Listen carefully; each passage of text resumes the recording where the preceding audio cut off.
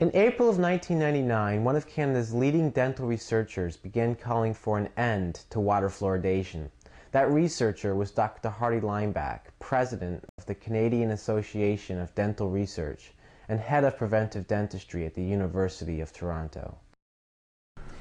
And I guess I'm here in Mississauga because here we have in yourself a practicing dentist, an expert advisor to the Canadian Dental Association, and president of the Canadian Association for Dental Research, and the chairman, head of the Department of Preventive Dentistry at Toronto.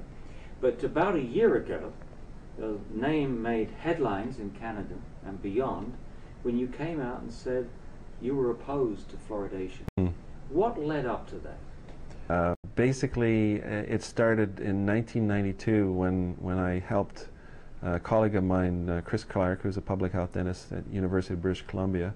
Together we organized a workshop uh, to look at the issue of whether or not fluoride supplements should be banned for children who are susceptible for dental fluorosis. What is a supplement? What's a well, fluoride? Fluoride supplement is, is a tablet of fluoride that gives you the equivalent of a daily dose of fluoridated water.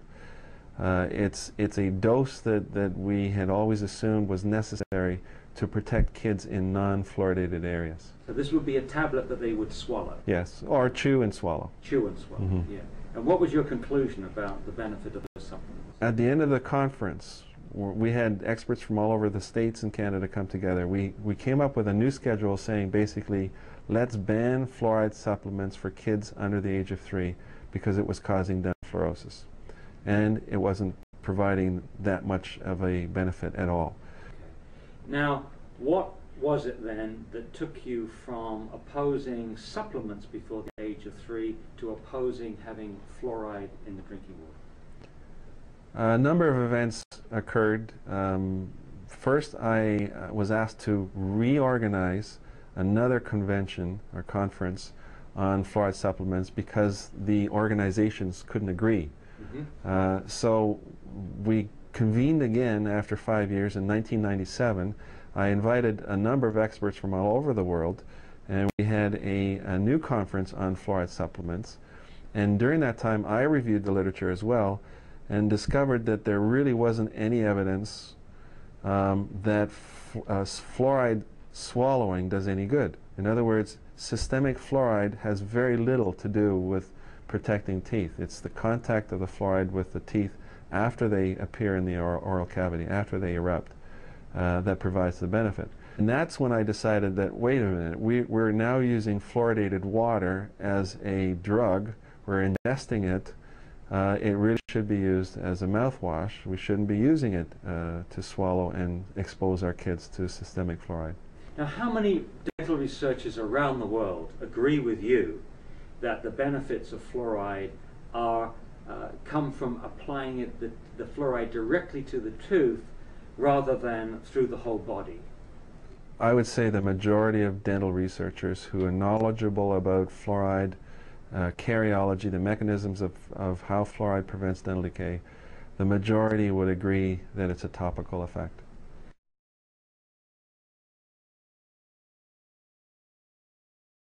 Well, tell us more about industrial grade uh, fluoride being used for the water supply. Tell us more about that. Well, I had always assumed that the fluoride that we're using to, to fluoridate the water supply was pharmaceutical grade sodium fluoride.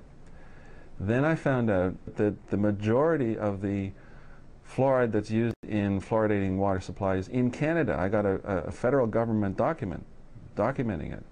Uh, the majority of it is sodium uh, or hydrofluorosilicylic acid uh, or sodium uh, silicates, uh, fluorosilicates, and these are added to the water supply to um, produce one part per million fluoride in the water. They dilute this stuff down to one part per million. Apparently this dilutes all the contaminants that are in there down to levels that are allow allowed by the EPA.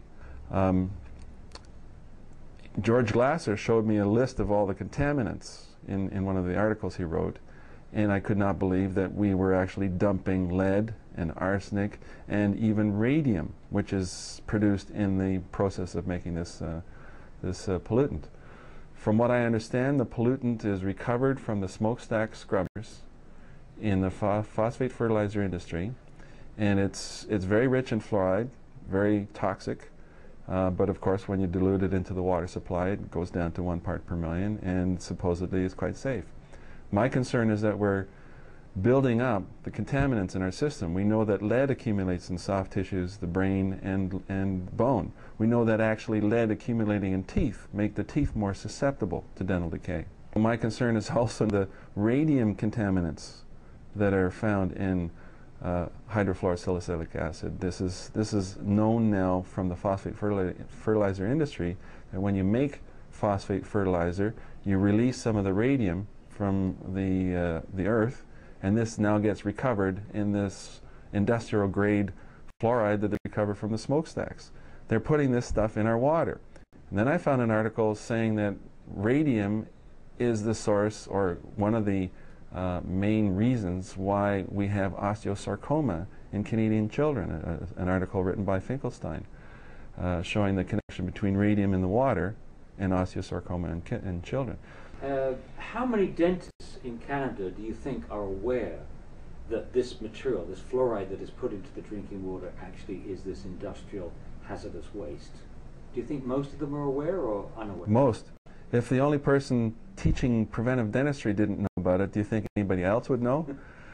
no, I don't think even a single dentist knew until it started um, becoming more uh, of an open, open issue because of the anti-fluoridationists uh, when you talk to other dentists and they hear about this being an industrial waste product, does it faze them at all? Or what's the reaction? First, the first reaction is prove it. Yeah. they, they don't believe it. They don't believe it.